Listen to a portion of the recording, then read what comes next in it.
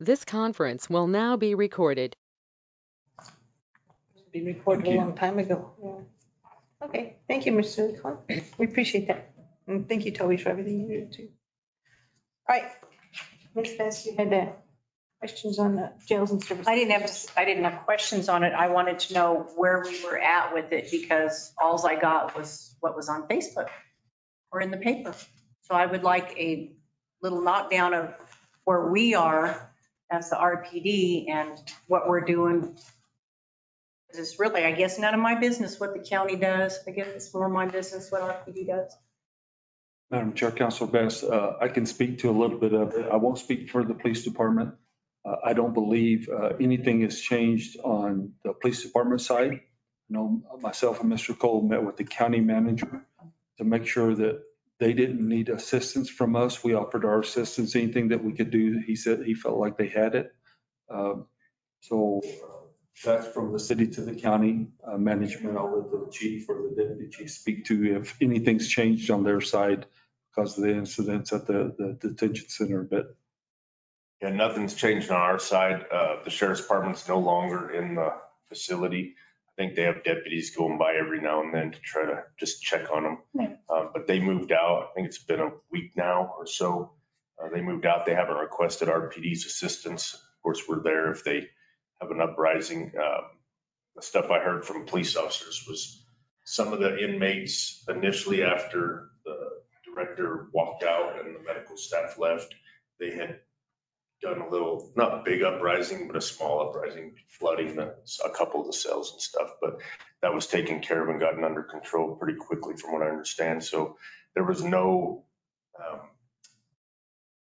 no riot or anything like that. I know Facebook put out there some stuff of, uh, you know, not all truths, but, uh, uh, talking to our officers and, and officers from other agencies. Uh, it wasn't as bad as probably social media made it out to, but everything's under control as of right now, the last I heard. Uh, but uh, I had, a- was gonna go to a meeting tonight, but wasn't feeling good and probably would have seen the sheriff there. And if I did, uh, talk to him about it, you know, offer whatever assistance we can. I was just kind of curious because it just was kind of left up in the air and then it just disappeared. And I just wanted to make sure that was followed through. we immediately uh, had a meeting with the county manager, offered our assistance in any way. and Nothing was asked of us at that time. And I was told that if they needed something, to call us. and they had good stuff to us. So we're, we're assuming they're good. Hopefully they'll hire a replacement soon. I was told that uh, because it went out there so fast, that people were already sending applications ready before they even put it out for bid or anything. Thank you. Any monthly reports from police? All I have, like I said, this is my first meeting, so I didn't really know what, but I, I can tell you, uh, just on our staffing, um, we have ninety-one officers right now. We might have a retirement at the end of the month. Bring us back to ninety and we have four more in the hopper, uh, that are going through the process. We're hoping will be hired by July, so that'll put our numbers up to ninety-four, which still leaves us ten down. I met with the, uh, recruiting officer last week, talked to her about what she was doing and she's, she's doing a lot of work and she's got a lot of people on her board testing. So she showed me how they track everything and, and what they do. So um, she, she's doing a good job uh, from what I've seen and you know, I'd like to, uh, like to get those numbers up definitely by the, by the end of the year, but we run one more recruit school or academy before the end of the year. So it'd be hard to get any additional in unless we get some lateral recruits from other agencies, which is a possibility. I heard uh, Sergeant Prescott is retiring in a month. That's, that's what, Replacement For that? that's what we've heard, yes. I'm sorry. Give a replacement for her? We will. We, we don't yet. We, me and the deputy chief talked. We'll probably put a, uh, an officer instead of a supervisor in that role. Oh, yeah, that makes sense, yeah. Yeah, I think, uh, you know, it- it doesn't make a lot of sense to have a supervisor in a role by themselves. So uh, we'll start looking at it and probably put it out to see who's interested and, and find the right person that's going to do it instead of telling somebody you're going to do neighborhood watch. We want to find that right person that's. Yeah. And well, but that'll definitely, uh, that program will definitely continue. Thank you.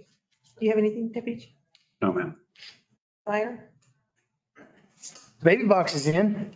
I know, I saw that. Now we're just on a mission to find somebody that helps put it in. Wade Construction, they're very anti-abortion and everything, so she'll, uh, she's talking to her husband, I I did email you. Can we use part of that grant to pay for part of it, the install? I believe so. I'm trying to get her to donate it, but she knows we got the grant, so she was wondering why. So if you could. Kind of- Yeah, I asked, uh, Lieutenant, our Division Chief Bunch to check on the balance in that account, to tell us Okay. what's left in that account. Okay. Because I don't know if that grant paid for the box or if the donations paid for the box. I think the donations paid for the box, the grant, well, it was made for that, but we, Right. we wanted to use the He's grant. telling us we need to lower our camera. He's tired of seeing the, she wants to see our face. Sorry. There you go. But uh, whatever's left, we just will use for the annual fee. Yeah.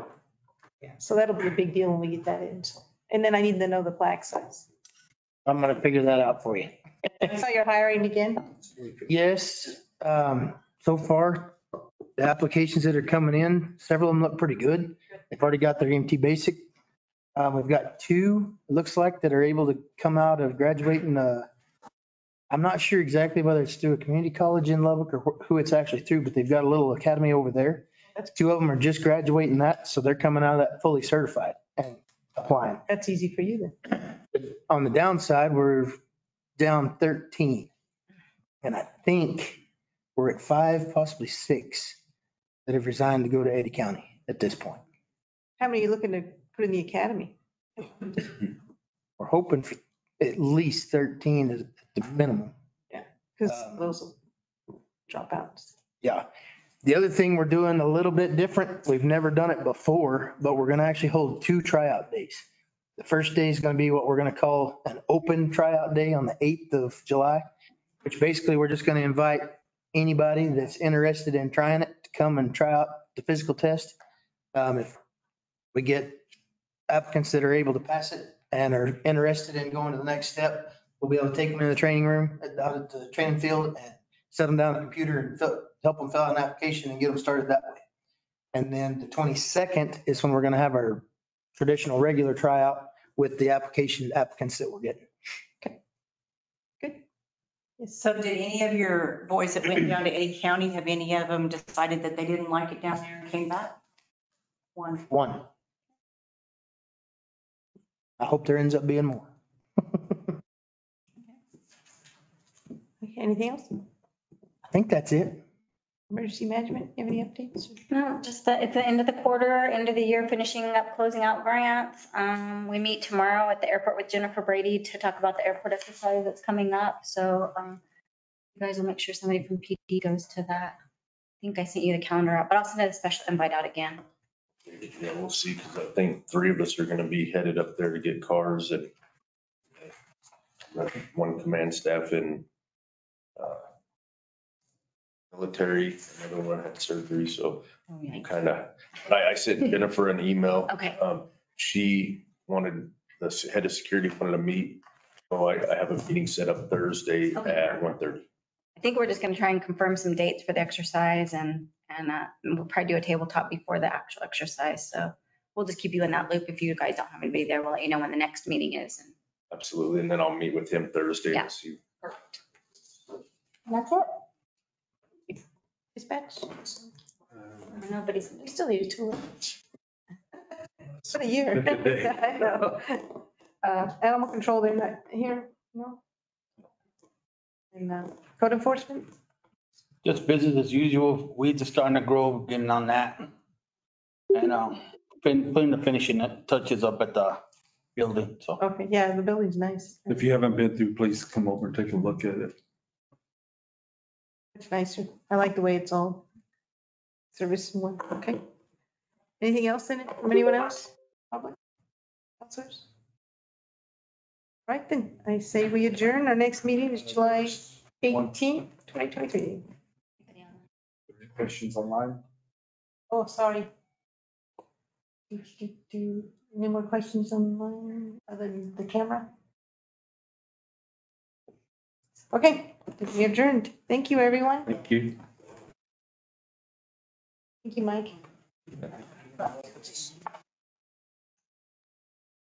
So I don't know what's the. You, you, Megan used to. help with the farmer. I got one of my cats. So you got rid of your cat? I got, I like got one of them. I was like, oh, we can take pets there and they'll. Shelby was helping at the farmer's market and Megan was there with the animals and then comes, Shelby went to look at him and comes.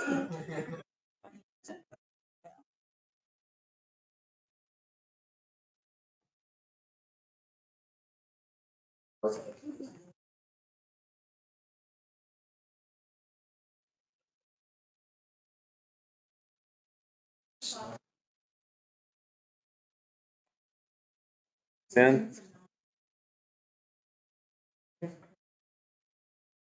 Did.